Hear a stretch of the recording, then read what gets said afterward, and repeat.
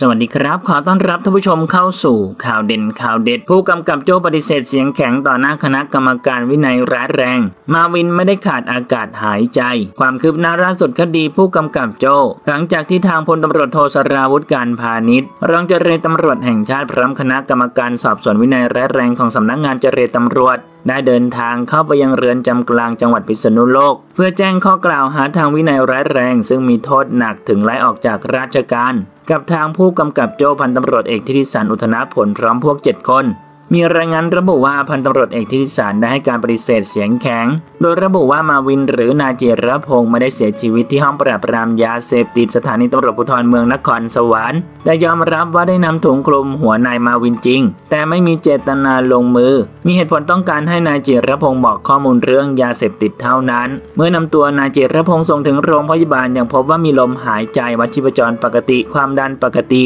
ระดับออกซิเจนปกติ โดยที่แพทย์ไม่ได้ใส่เครื่องช่วยหายใจ